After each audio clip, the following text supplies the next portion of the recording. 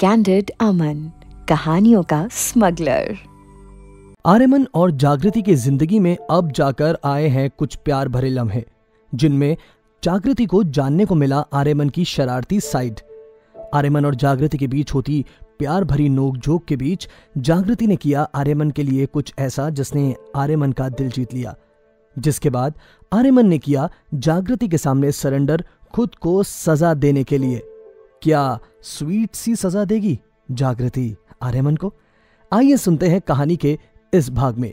लेकिन लेकिन लेकिन उससे पहले, मेरे दोस्तों, अगर आपको लव अरेस्ट कहानी बहुत पसंद आती है, आपको लव अरेस्ट कहानी के एक एक कैरेक्टर से बेइंतहा प्यार है, और आप हमें मोटिवेट करना चाहते हैं तो जल्दी से कहानी को मैं शुरू करूँ। उससे पहले सब्सक्राइब कर लीजिए, लाइक कर दीजिए, कमेंट कर दीजिए, और हाँ अपने दोस्तों के साथ इस कहानी को शेयर करना मत भूलना। जागृति आर्यमन के पास आई तो आर्यमन ने अपने हाथ को आगे बढ़ाते हुए उसके हाथ को थामकर उसे अपने नज़दीक खींच लिया, जिसने दोनों के बीच की दूरी को पल भर में खत्म कर दिया। जागृति ने अपने दोनों हाथों को आर्यमन के सीने पर टिका दिया। जागृति ने आर्यमन की निगाहों को पढ़ने की कोशिश की तो उसे उसकी निगाहों में शरारत नज़र आई। जागृति की एक टक अपनी तरफ़ देखती निगाहों को आर्यमन ने उसके चेहरे के सामने चुटकी बजाते हुए तोड़ दिया। जिसके बाद आर्यमन ने जागृति के गाल को किस करते हुए आहिस्ता से उसके कान में कहा पैक योर थिंग्स जागृति। हम हमारी ज़िंदगी के नए सफ़र पर निकल रहे हैं आज। और हाँ लास्ट टाइम की तरह मेरे बैग के साथ कोई शरारत नहीं होनी चाहिए। वरना लास्ट टाइम तो नहीं, लेकिन इस बार तुम्हें इस बात की अच्छी खासी सजा मिल सकती है। इन शब्दों के बाद आर्यमन ने जागृति के गाल को एक बार फिर से किस किया और उसे बाय कहा, जिसके बाद आर्यमन के इशारे पर वहाँ मौजूद सभी लोग उसकी ओर पलट चुके थे। आर्यमन के ड्राइवर ने फुर्ती से कार का डोर खोला और आर्यमन के कार में बैठने के बाद उसकी कार वहाँ से ऑफ़िस के लिए रवाना हो चुकी थी। आर्यमन की कार के वहाँ से निकलते के साथ ही वीर की कार वहाँ आ चुकी थी। अभी जागृति के कदम वहाँ से अंदर गए भी नहीं थे जब आर्यवीर वहाँ पहुँच चुका था। आर्यवीर कार से बाहर आया तो उसके चेहरे पर थकान और नींद साफ़ नज़र आ रही थी। जागृति ने सिवाय वीर से परिधि की कंडीशन के कुछ भी नहीं पूछा। वीर तेज कदमों से वहाँ से अपने रूम की तरफ़ बढ़ चुका था। वीर के चेहरे पर अभी भी टेंशन थी। जब तक परिधि ठीक होकर घर नहीं आ जाती, तब तक के लिए उसके सर पर खतरा मंडरा रहा था। ये बात वो अच्छे से जानता था। आर्यमन ने पहरा बहुत कड़ा किया हुआ था, लेकिन बावजूद इसके वीर को तभी चैन था जब वो खुद परिधि के साथ था। वीर ने अपने रूम में जाकर सबसे पहले शार लिया, जिसके बाद उसकी थकान कुछ हद तक कम हुई। इस बीच जागृति ने वीर के लिए ब्रेकफास्ट उसके रूम में ही भेज दिया था।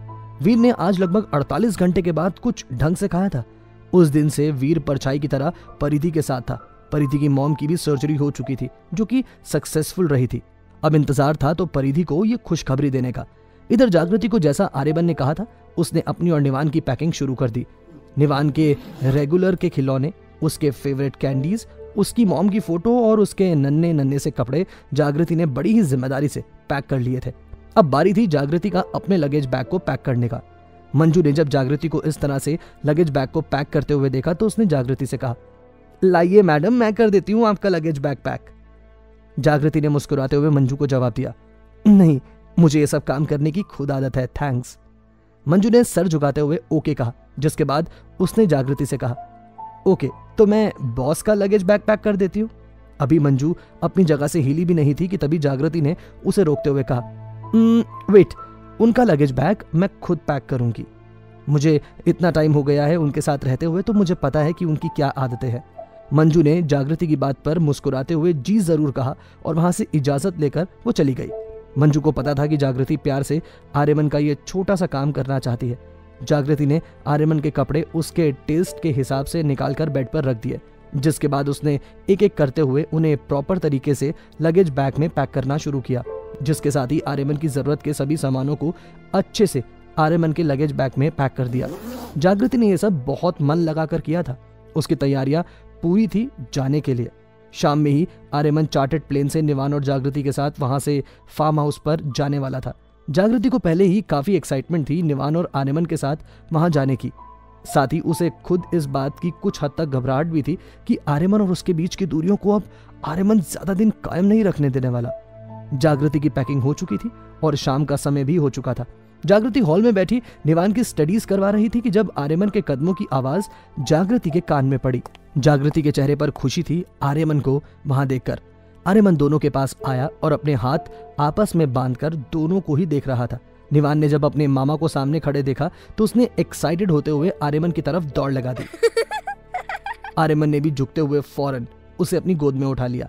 आर्यमन ने निवान से पूछा रेडी चैंपियन निवान ने मुस्कुराते हुए आर्यमन को जवाब दिया मामा आई एम रेडी चलो मैं भी आपको रेडी कर देता हूँ। आर्यमन ने मुस्कुराते हुए निवान को कहा बेटा आप यहाँ बैठो आपकी मामी आपके मामा को रेडी करेंगी। चले जागृति।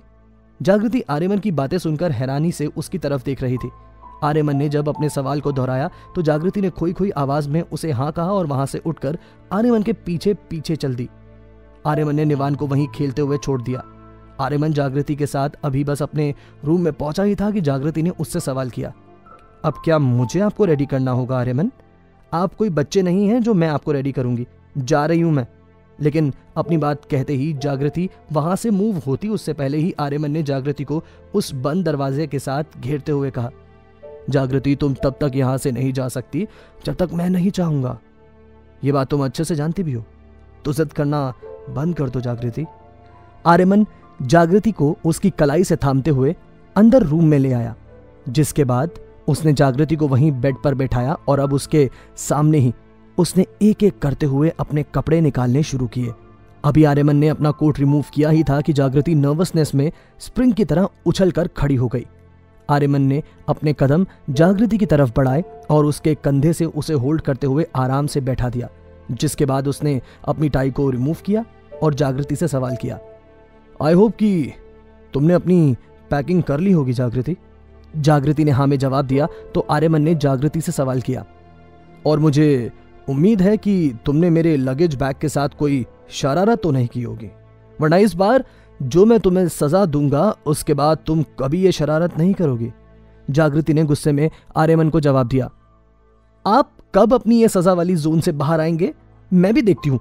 कैसे आप मुझे सजा देते हो? आर्यमन ने जब जागृति को यूँ इस तरह से नाराज़ होते हुए देखा तो उसने अपने कदम बेड पर बैठी जागृति की तरफ़ बढ़ा दिए।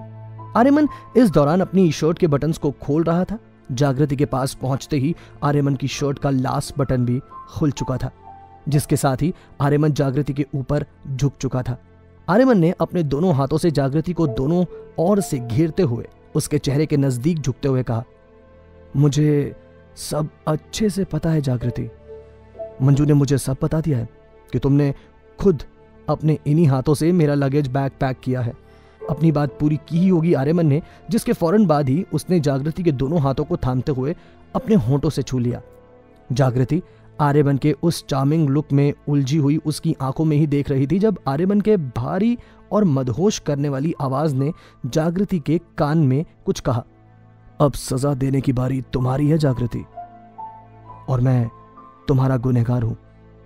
I surrender myself to you Jagriti. Jagriti को आर्यमन की बातों से कुछ और ही फील हो रहा था। जागृति ने अपने ऊपर झुके हुए आर्यमन को उसके सीने से पुश करते हुए कहा, अगर ऐसा है तो मुझसे मिलने वाली पनिशमेंट के लिए रेडी हो जाइए, मिस्टर आर्यमन मल्होत्रा, क्योंकि आपके दिल में रहम हो सकता है। लेकिन मैं मैं बहुत बेरहम हूँ। सोच लीजिए। आर्यमन बेड से सीधा खड़ा हुआ और उसने जागृति को झटके से अपनी ओर खींचते हुए कहा, सोच लिया। जागृति के दोनों हाथ इस वक्त आर्यमन के सीने पर थे और जागृति की नज़रें आर्यमन की नज़रों में खोई हुई थी। जागृति के कुछ भी बोलने से पहले आर्यमन ने जागृति के होंठों को अपने होंठों से छू लिया, जिसके बाद उसने जागृति से कहा, मैं हमारे बीच की सभी दूरियों को खत्म करना चाहता हूँ जागृति। मैं तुम्हें अपना बनाना चाहता हूँ। And I can't wait for that moment Jagriti Aryaman की इन इंटेंस बातों से शर्मा गई। जिसके बाद आर्यमन ने अब जागृति को ज़्यादा तंग नहीं किया और नीचे हॉल में वेट करने के लिए कहा। नर्वस जागृति तो आर्यमन की बाहों से ऐसे छुटकर भागी जैसे किसी शेर के पंजे से उसका शिकार। जागृति की साँसें तो अब उसे उस रूम से बाहर आने के बाद ही वापस मिलने वाली थी। जागृति ने उस रूम से बाहर आने के बाद गहरी साँसें ली। इधर आर्यमन खुद इस ट्रिप पर जाने की सोचकर ही एक्साइटेड था। उससे ज़्यादा उसके दिल को यह बात खुश कर रही थी कि उसके लिए उसका लगेज बैग जागृति ने खुद पैक किया है। उसकी जरूरतों का ख्याल रखते हुए आर्यमन जल्दी ही चेंज करके रेडी हो चुका था। उसने अपने रूम से कदम बाहर रखा, जिसके बाद उसके कदम वहाँ से वीर के रूम की तरफ़ बढ़ चुके थे। वो जाने से पहले अपने भाई से मिलना चाहता था। आर्यमन ने वीर के रूम का डोर नॉक किया तो वीर इस समय अपने लैपटॉप पर बिज़ी था। वीर ने अंदर आने के लिए कहा तो डोर पर उसका बड़ा भाई आर्यमन खड़ा था। वीर फ़ौरन अपनी जगह से उठा और आर्यमन की तरफ़ बढ़ा। आर्यमन ने अपने भाई के लिए अपनी दोनों बाहें फैला दी। वीर भी पल भर में ही अपने भाई के गले से लग चुका था, जिसके बाद वो आर्यमन से अलग हुआ। अब आर्यमन ने वीर से कहा, मुझे गर्व है मेरे भाई पर, जिसने इतने अच्छे से सिचुएशन को हैंडल किया है। मुझे पूरा भरोसा है कि जल्दी ही परिधि पूरी तरह से ठीक हो जाएगी। वीर ने सर झुकाए भारी स्वर में अपने भाई को जवाब दिया, भाई, उम्मीद तो मुझे भी है। आर्यमन ने वीर से आगे कहा, परिधि को डिस्चार्ज करवाने के बाद तुझे उसे यहाँ लेकर आना है, उसकी मॉम के साथ। उसकी जान पर खतरा बरकरार है। वो यहाँ तेरी नज़रों के सामने रहेगी तो महफूज रहेगी। वीर ने हाँ में सर हिलाया, जिसके बाद आर्यमन ने उसे निवान की फरमाइश के बारे में बताया।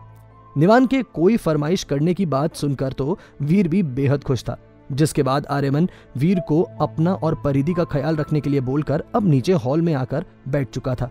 जहाँ जागृति और निमान आर्यमन का इंतज़ार कर रहे थे। कैसी होगी आर्यमन की रोमांटिक साइड? क्या जागृति सच में देने वाली है आर्यमन को कोई सजा? कैसा होगा उसका स्वीट रिवेंज? क्या इस बीच जागृति के सामने खुलेगा वो बंद दरवाज़ा? जानेंगे कहानी के आगे के सफ़र में।